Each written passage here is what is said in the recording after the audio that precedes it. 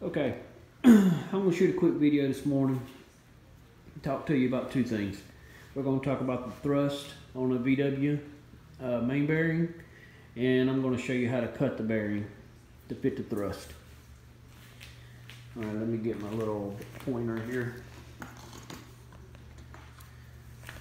All right, now we're discussing the thrust on a VW.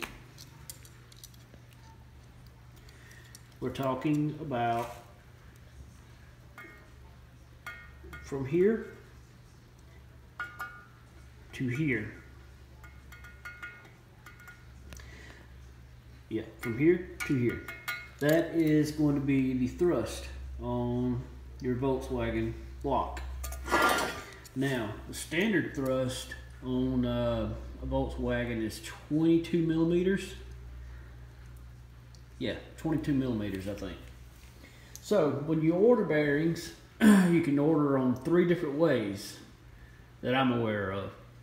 Uh, you can order it as standard, which would be zero on the thrust.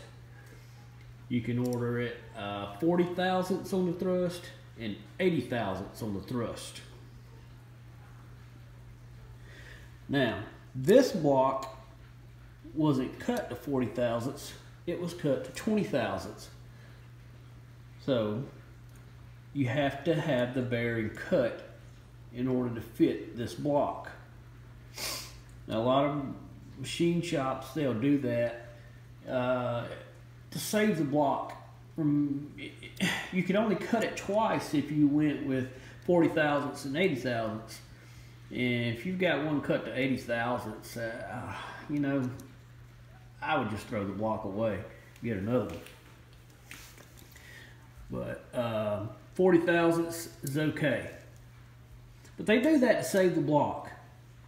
So they only cut this one a half a millimeter because a millimeter is 40 thousandths of an inch, roughly.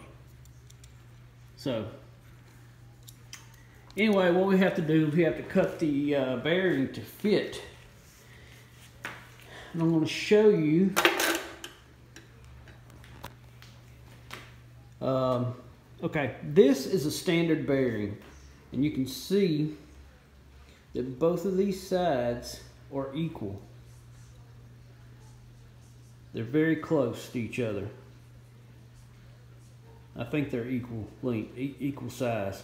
Anyway the distance between here and here is 22 millimeters now, this bearing's already been cut, but you can see on this one, see how much thicker this side is than this side? This is an, uh, wait a minute. No, this is my good bearing. This is the one I just cut. So,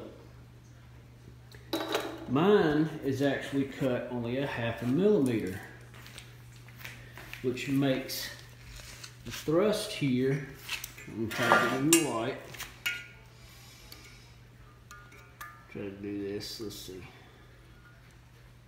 It should be like 21.5. Yep. 21.5. That's what it is. They cut it 20 thousandths. So, what you have to do, you have to order a bearing for 40 thousandths.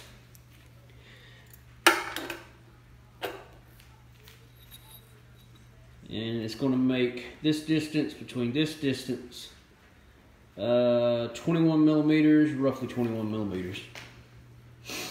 So what we need to do is cut away some of this in order to make that bearing fit. And I'll show you this bearing. Like I said, this bearing has already been cut. And, I'll put this in right and you want it to be snug. It needs to, you need to feel it kind of push down in there and lock into place. Do that. Let's see, needs to be a little bit tough to pull out. That's perfect.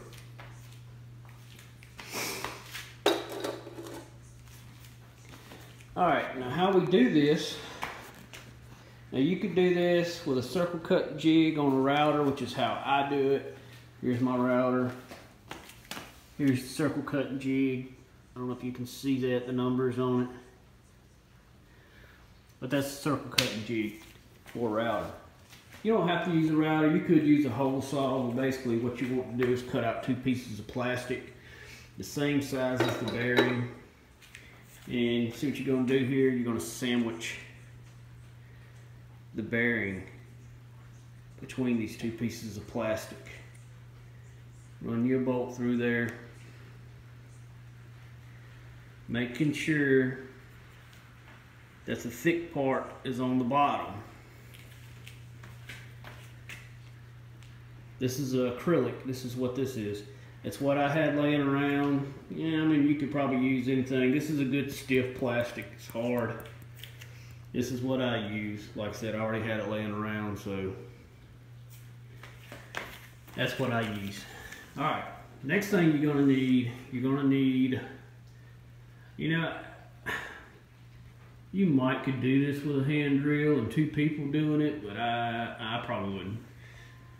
Uh, what you, I would use a drill press if you got access to a drill press. Basically, all you're gonna do is you're gonna stick it in there, lock it down. Let's see if I can do this one-handed. I don't know if I can. And just kind of snug it up in there. Don't go so tight that you're gonna uh, mess the uh, threads up because you got to get it back off. Let's see. Yeah, that's spinning pretty good. A little bit of wobble in it. Yeah, it's a little bit of wobble in it. Um, but yeah, you can work with the piece of plastic, kind of move it, kind of see if you can get it centered in the, uh, see if you can get it centered in the drill press a little bit better, get some of that wobble out of it. But for demonstration purposes, uh, this will be fine. All we're going to do, once you got it locked in, you're going to take a flathead screwdriver. This is an old flathead. Look, this is a Walmart special. Nothing special about this screwdriver. Better if you got two people when you do this. But you just basically, you're going to get down on it. And just drag it on that edge right there. See the metal being cut away? Try to get it as flat as possible when you do that now. Get that screwdriver on there as flat as you can. But that's all you want to do. Just keep you just. It doesn't take much because uh, you're only cutting away. You're not even gonna cut away a half a millimeter. You're gonna cut away maybe I, I don't know ten thousandths or so, maybe fifteen thousandths of an inch, something like that. I know I'm going back and forth between millimeters. Just say a quarter of a millimeter then. Let's see, I'll show you what, uh, show you what this one's cut to. You want it to be snug, so don't take it all the way. If you take it all the way to the same size as the block, then it's gonna fit in there a little too loose.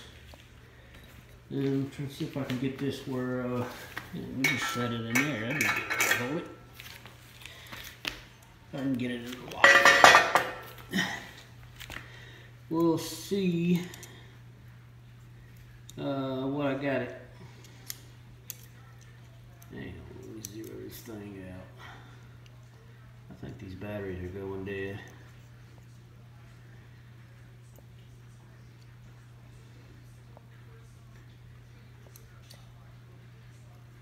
Alright, let's see what we got here. Alright, 21.35. 21.35. See, I didn't go all the way to 21.5.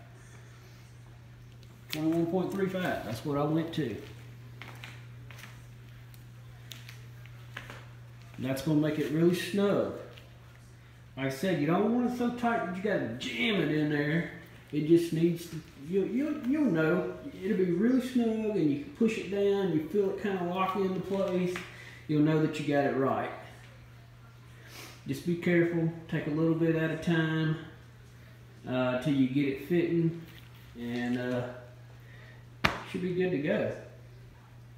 Um, I, I, just thought I'd share this with you because I know a lot of people uh, don't have access to a VW machine shop. I don't, and that's why I had to do this. Uh, actually, I had a set of bearings cut. The one that's in there now is a damaged bearing. Uh, I sent my block off. I had it opened up for 94s. I had them cut me a bearing, and the bearings got damaged uh, in shipment on the way back somehow. Yeah. Go figure. When I got them back, all the bearings were damaged. They were all, you know, kind of egg-shaped, oblong. Uh, so, they're no good anymore. And I wasn't about to ship my block back to have the bearing cut. Uh, so, you know, this is what I had to come up with. It worked out great. And I just thought I would share this with everybody because I know there's going to be some people that's going to run into this uh, the same way I did.